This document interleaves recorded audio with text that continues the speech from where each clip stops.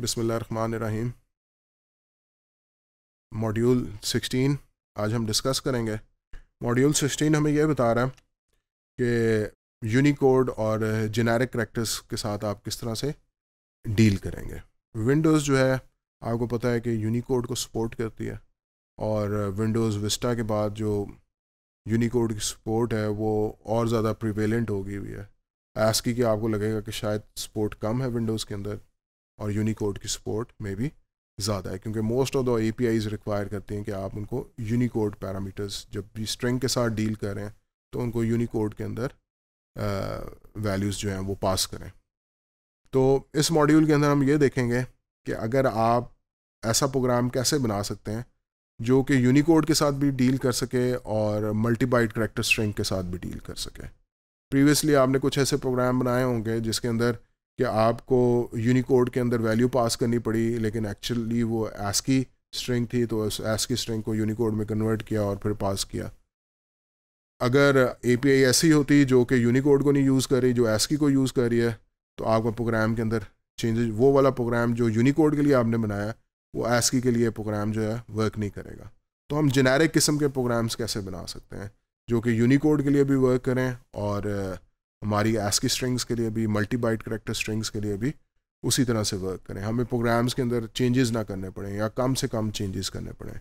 ये सब मॉड्यूल के अंदर डिस्कस करेंगे।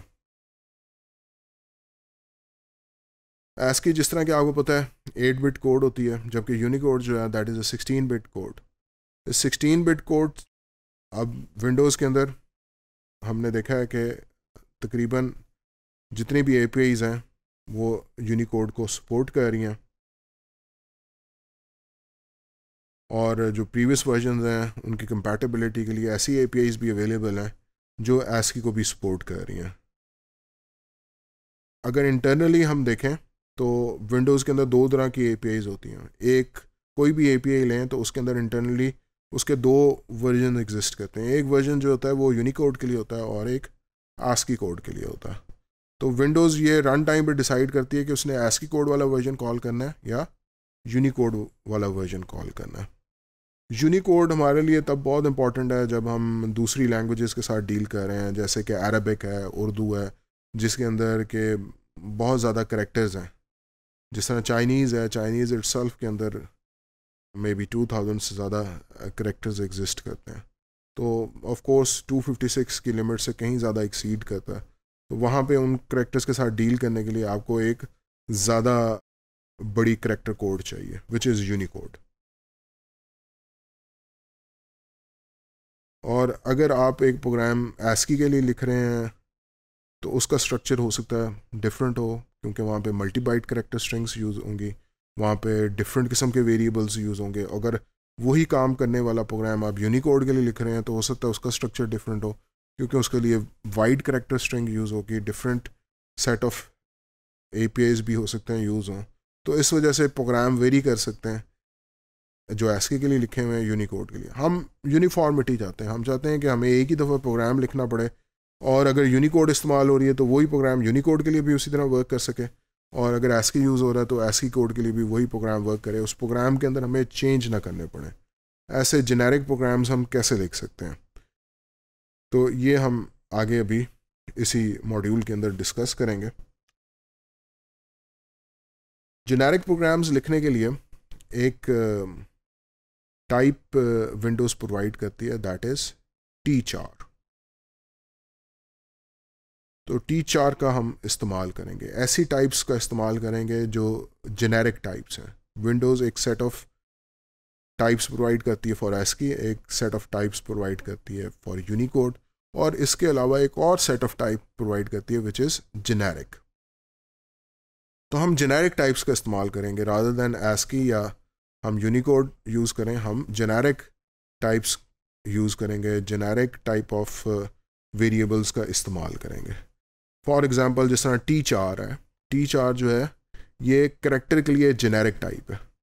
इसी तरह स्ट्रिंग के लिए जो जेनेरिक टाइप है that is long pointer to T S T R T S T R is again generic string और इसी तरह कांस्टेंट स्ट्रिंग के लिए long pointer to C T S T आप यूज़ कर सकते हैं। फिर जब आपने अगर यूनिकोड यूज़ करना है तो यूनिकोड जब आप यूज़ करेंगे तो आप इस मैक्रो का इस्तेमाल करेंगे, बल्कि दो मैक्रोज का इस्तेमाल करेंगे। इनको डिफ़ाइन करना पड़ेगा, एक यूनिकोड और एक अंडरस्कोर यूनिकोड जब आप विंडोज़ डॉट एज को इंक्लूड करते हैं तो विंडोज़ डॉट एच को इंक्लूड करने से पहले आपको ये दोनों मैक्रोज डिफ़ाइन करने पड़ेंगे। एक डिफ़ाइन यूनिकोड और दूसरा डिफ़ाइन अंडरस्कोर यूनिकोड जो यूनिकोड है, ये विंडोज़ एपीआई को कंट्रोल करता। जब आपने ये वाला मैक्रो डिफाइन किया होगा तो जब प्री प्रोसेसिंग होगी तो सिर्फ़ ये उन्हीं फ़ंक्शंस के हेडर्स इंक्लूड करेगा जो फ़ंक्शंस यूनिकोड के लिए इस्तेमाल होते हैं।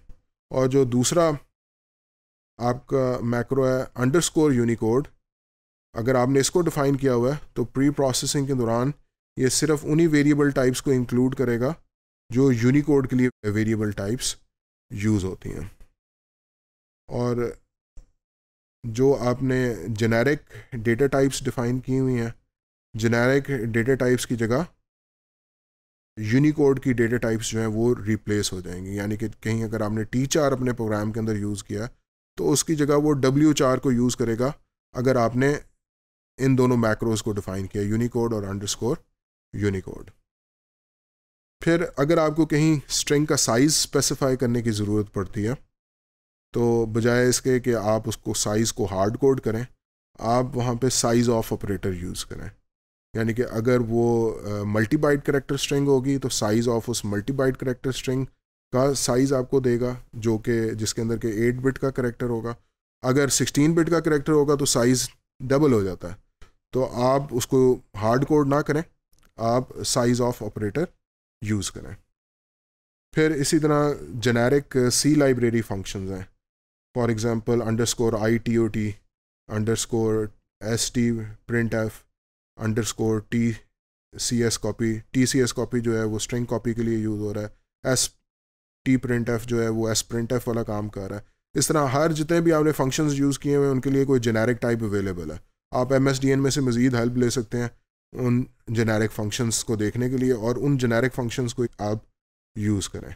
फिर इसके अलावा अगर कहीं स्ट्रिंग लिटरल्स हैं स्ट्रिंग कॉन्स्टेंट्स हैं तो उसके साथ आप अपना ये वाला मैक्रो यूज़ करें अंडरस्कोर टेक्स्ट या अंडरस्कोर टी जिस तरह इस एग्जांपल के अंदर आप देख सकते हैं माई टेक्स्ट लिखा हुआ है तो माई टेक्स्ट से पहले आप मैक्रो यूज़ करें अंडरस्कोर टी अंडरस्कोर टी का मैक्रो जो है, इस टेक्स्ट को ट्रांसफॉर्म कर देगा इनटू यूनिकोड अगर सिर्फ़ माई टेक्स्ट लिखा हुआ है तो वो उसको कंसिडर करेगा एज एस की मल्टीबाइट करेक्टर स्ट्रिंग और अगर आपने एल स्पेसिफाई किया तो उसको वो सर्टनली कन्वर्ट कर देगा into Unicode underscore T के अंदर वो देखेगा कि आपने क्या डिफाइन किया हुआ है। अगर आपने यूनिकोड ऊपर डिफाइन किया हुआ है तो उस केस के अंदर उसको यूनिकोड में कन्वर्ट कर देगा अदरवाइज़ उसको एस की में ही रहने देगा।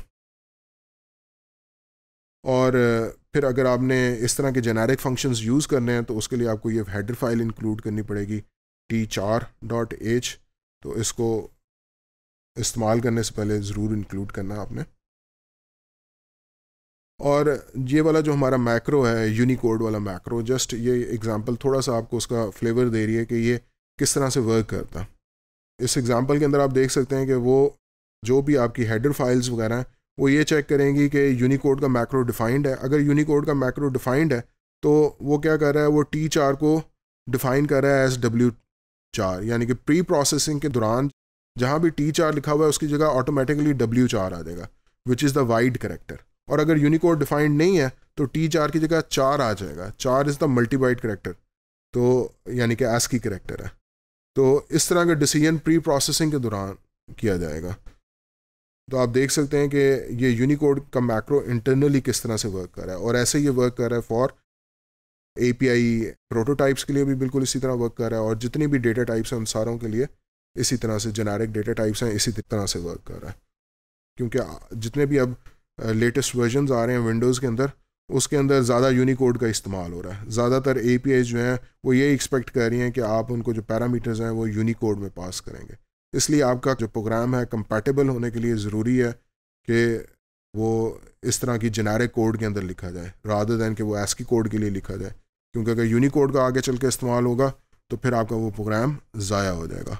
और मोर ओवर जो फ़ाइल सिस्टम्स वगैरह हैं, जो इसके अपने विंडोज़ के इंटरनल डेटा स्ट्रक्चर्स हैं एन टी एफ़ एस है एन टी एफ़ एस के अंदर मास्टर फ़ाइल टेबल होता है, उसके अंदर भी सारी जो फाइल्स वगैरह की इन्फॉर्मेशन है, वो भी यूनिकोड के अंदर स्टोर हो रही है। तो यूनिकोड का इस्तेमाल बढ़ रहा है, इसलिए ज़रूरत है कि जो प्रोग्राम लिखे जाएँ, वो जेनेरिक नेचर के हों।